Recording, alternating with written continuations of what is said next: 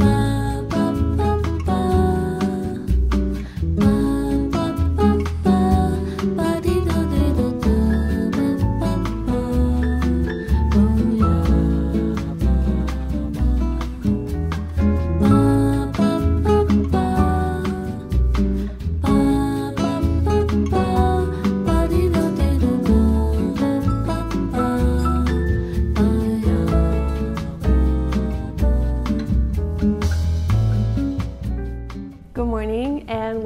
another video. I have so much time on my hands today, so I thought what better use of it than to show a what I eat in a day. So this video, I'll share everything I eat in a day. I am starting out with warm lemon water. It's slices of ginger, juice of half a lemon, a slice of a lemon just, you know, for the looks, and then I fill it up half with boiling water and then the rest of it with cold water. Usually when I drink this, I always feel better, so the lemon ginger water girlies are onto something. Then I also struggle with drinking enough water. It's just not something that I have successfully incorporated in my daily routine. So usually I have a headache at the end of the day and then I remember that it's because I didn't drink enough water. So when I drink one of these, I know that I have gotten well over than half a liter of water just in the morning and that's a really big step for me. Today I'm gonna show you some recipes that I love to make. But before we get started with breakfast, I really need to clean the kitchen and dining table area. It is a mess so we're gonna do that first things first. And then I think it's also probably to get changed out of pajamas. Even though I love wearing pajamas as everyday attire,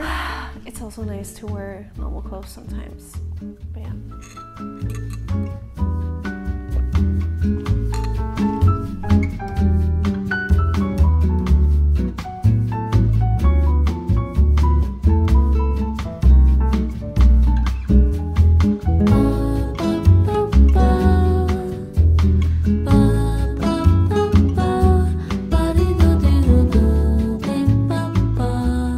Dressed and the kitchen is clean. So we're ready to make breakfast now. If you've been following me, you know I'm obsessed with a granola situation ball. I love Greek yogurt, I love granola and little berries or something fruity on top. But I needed a break and went the oatmeal way, but now I'm back. I've run out of granola, so I need to make another batch. The previous batch I made, I burned it a little bit too much, so it didn't taste that great. Maybe that was why I didn't kind of like granola balls because the granola just didn't taste great, but we got through it. And now let's make my favorite granola, which is honey peanut butter granola. I always make granolas at home. I think it's much easier and then there's also the health and price aspect in it for me. It's much cheaper and I can also decide what I want to put in it. So it's a win-win situation for me and everyone else. So we're gonna make a fresh batch of peanut butter granola.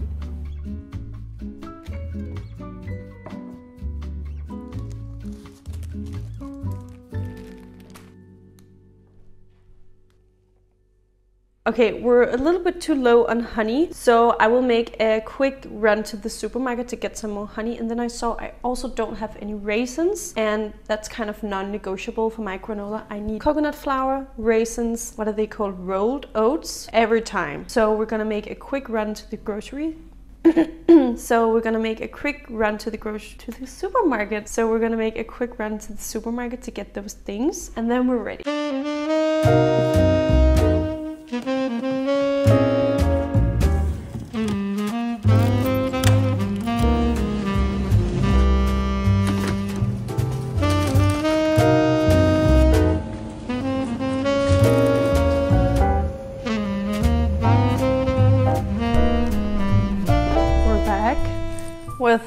More supplies. And now we're ready to make granola. Ugh.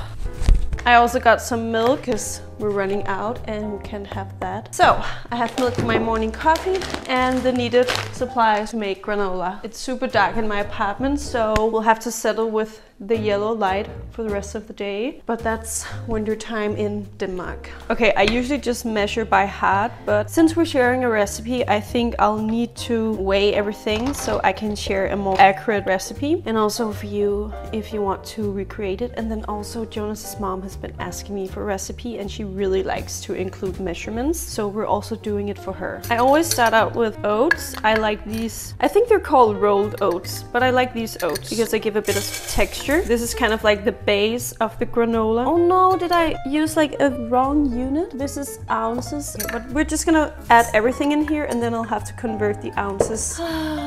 so classic me. OS 2 gram convert, okay. Okay, I'll just, mm, what do I do? I'll just, I'll add it to another bowl and get the right measurements and then I'll re-add the oats. And this is 350 grams of oats. I like to add whole nuts. Um, it could be almonds, walnuts, pecans, whatever you like. This time I'm adding hazelnuts and I like to just keep them whole to just add a bit of more texture to the mixture. So 100 grams of oats. No, not oats. Oh my god hazelnuts. And then I'm also adding in flax seeds. And here I'll be adding 80 grams of flax seeds. And I mean, if you want more or less, you can do so. I usually just measure by heart, as I told you before. So if you don't like flax seeds or if you want less or more, you can just do that. And I think it won't really change the outcome of the recipe. Then we're gonna add coconut flour. I do have a little um, leftover from another bag, so we're gonna use that. But I really do like coconut flour, so this won't be enough for me. And I think it just gives a really nice texture to the granola. It kind of gets more chewy. And this is 55 grams, but I'm gonna add some more.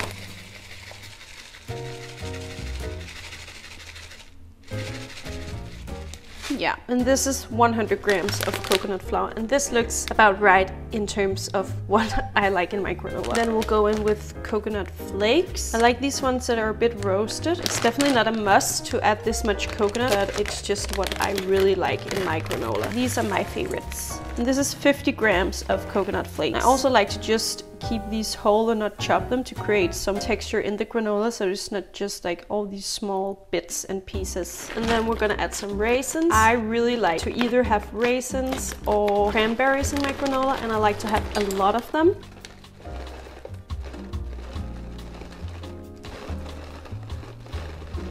Do I want more? Hmm can't figure that out. This is 150 grams of raisins. Maybe I'll add more, maybe not. I'll try and mix it around. No, I think, I think I'll add a bit more.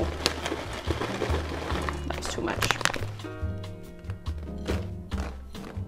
Yeah, this is 250 grams of raisins and that is what we're gonna do today. I also had four lonely apricots left, so we're just gonna add them into the mixture and then I think I'm satisfied. Now we're gonna make the peanut butter and honey mixture and I use honey, peanut butter and salt and then also boiled water. So we're just gonna add in everything. I did have this small leftover from the other honey I had. We're gonna use that first and then I'm gonna switch over to the other honey. And with the amount of honey, it really depends on how sweet you like it. I don't like mine as sweet. I'm not gonna go too crazy over the sweetness, but still I use honey as a form of like glue. Kind of glues everything together. This might be three teaspoons. Just gonna add in one more. And for the peanut butter, I like to use fine, like um, smooth peanut butter. This one is so good. It tastes really roasted.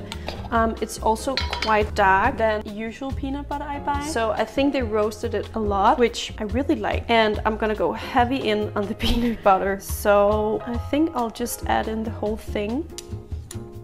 Then I add a tiny bit of salt. This might be like half a teaspoon, um, just to balance out all the sweetness. Adding in the water. I add in warm water to kind of help the ingredients mix together more well. Um, melt the honey and make the peanut butter more liquid. But if you add more honey, you can kind of leave out the water because I just use water to make the mixture more wet, make it cling together, but it's definitely not necessary. But as I told you, I don't like it too sweet, so it's kind of my way of making the mixture more wet and combining it.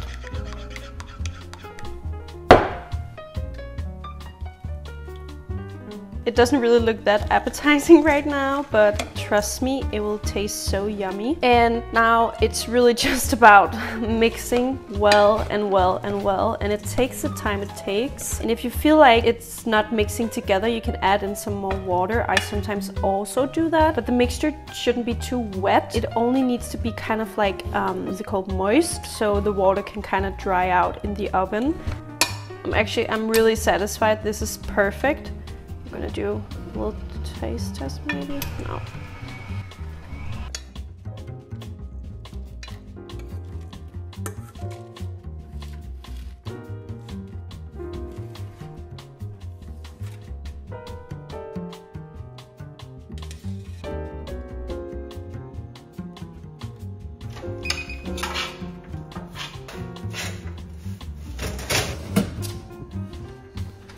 While the granola is cooking, I'm gonna make a jam. It's the easiest jam ever. This time it'll be a leftover jam because I have some leftover blueberries in the fridge. It's not that they've gone bad, I just don't like soft blueberries. So we're gonna make jam out of them. I usually do it with frozen raspberries, but this time we'll do blueberries since I have them in my fridge and I don't like to throw out food. And it's essentially only the fruit, so this time blueberries, water and honey, and then on low heat on the stove, and then there's jam. Granola is looking nice and toasted. It's dry and just a little bit tanned, so now it's ready to eat. I'm just waiting for the jam to finish, and then we'll assemble the granola bowl.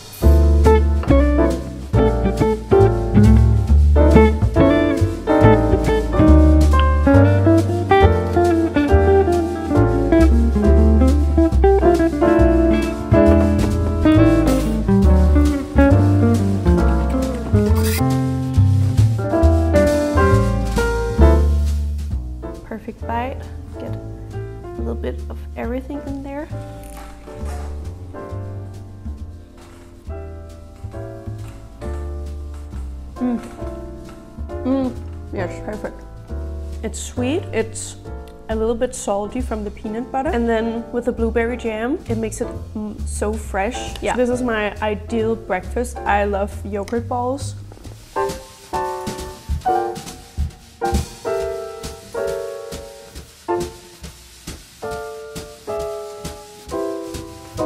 Good thing about this recipe is that you can make such a huge batch. If it's dry enough, it will just keep fresh for a long time. Once I tried where I didn't give it enough, so it was still a bit moist, and then it just was completely rotten after a few days. But with this, if it's dry enough, it will keep fresh for a long time. Ah, can't fit in there.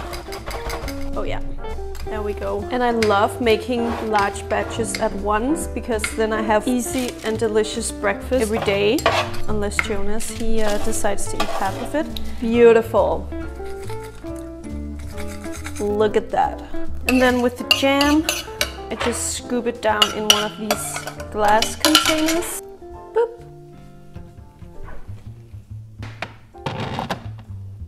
I just spent a few hours working, getting back to emails, posted on another way, stuff like that. And now I'm hungry and we're making lunch. I went to a meeting the other day at a cafe called Studio X Kitchen and while it wasn't a lunch meeting, I saw that they make folded eggs with anchovies and I think homemade focaccia, was it salad or pickles? But they make folded eggs with anchovies and for some reason I have been thinking about that dish every day since. So we're making folded eggs with anchovies inspired dish for lunch.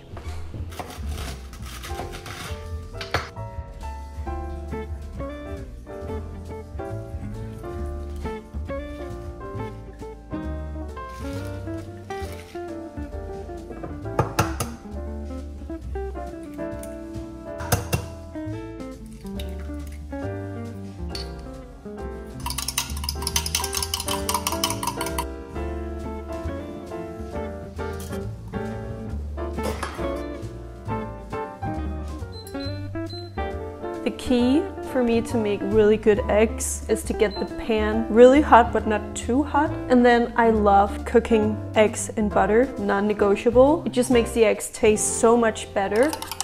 I wait until the pan is hot enough and then I add the butter. And then when that's melted, I add in the eggs. And then to make the folded eggs, you kind of just have to like scoop, not scoop, but like push the eggs around. And then when I've gotten the desired form of the eggs, I don't know how else to explain it. I put on a lid and then a tiny bit of water actually to just kind of create some steam that will make sure the egg cooks through thoroughly.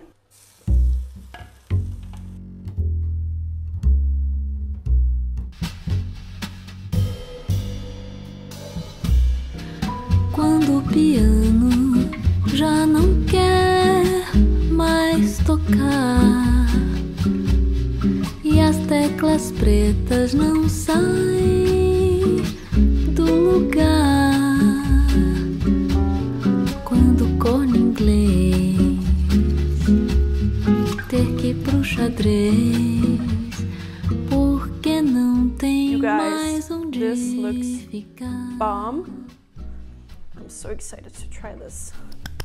Gonna make a perfect bite again with a little bit of anchovy. I also added some smoked chili paste because I really like that with everything I eat. And then maybe add that into a little salad. Mmm, mmm. Oh my god. Mmm. It tastes so good. This combination is so bomb. Wow, it tastes so good.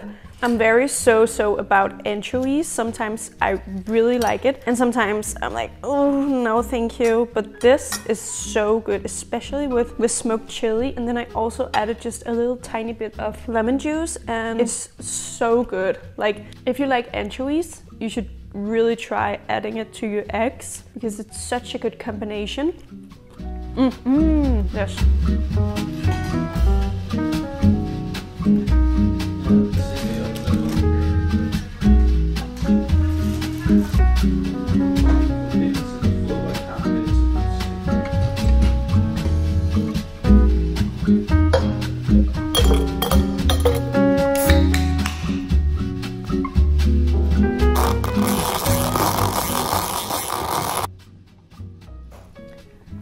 Getting ready to make dinner right now and the drink of choice is this coffee soda from this brand called Mode. They sent me a bunch of these coffee sodas to try out and I actually really like them. They contain cold brew, ginger, maca powder, lemon, I think it's maca powder. They just write maca. Uh, lemon, yuzu aroma and pear. And they're honestly super yummy. I was a bit skeptical. I find myself craving them sometimes.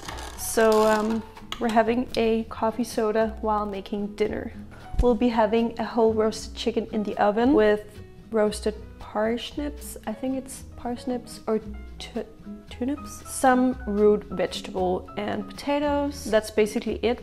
I think it's so nice to just pop everything together on a baking sheet and then in the oven for an hour and then dinner's ready. So very little preparation time, but super flavorful and delicious. Quando o trombone não quiser assoprar e os dedos da harpa não vão dedilhar,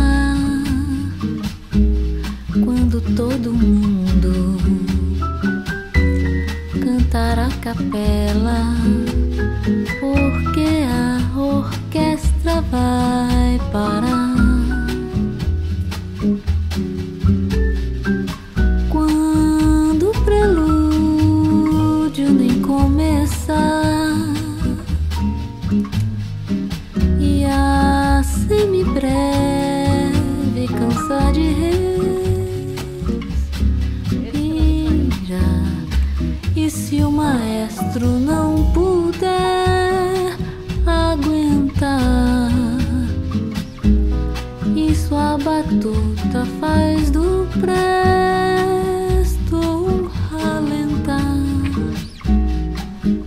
chicken and the vegetable is in the oven. And while that is cooking, I'm gonna make a little dip because Jonas, he loves a dippy situation. I'm gonna make a smoked chili, dill, and lemon dip. And I'm adding in also some spices such as cumin. Don't actually need that much of this chili paste, but I think it's so delicious and it gives a little bit more depth to the dip. And we don't want to have too heft of garlic breath, so I'm just adding in tiny cutesy garlic. Since we're gonna kiss each other, it doesn't really matter if we do have garlic breath.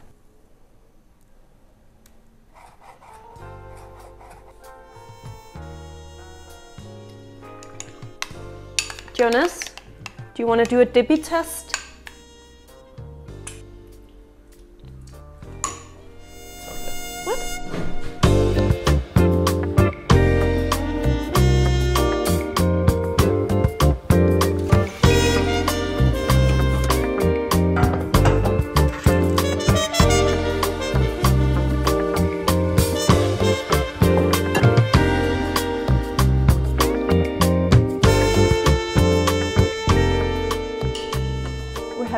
Right now and it tastes really nice, but I'm out of storage, so it will need to be quick. But it's yummy and Jonas is happy and he likes the dip and I'll see you guys.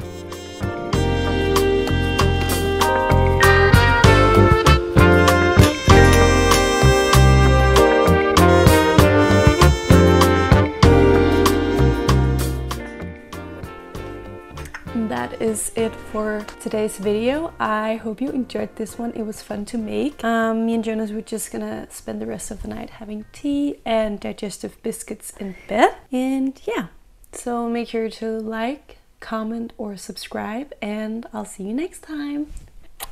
Bye!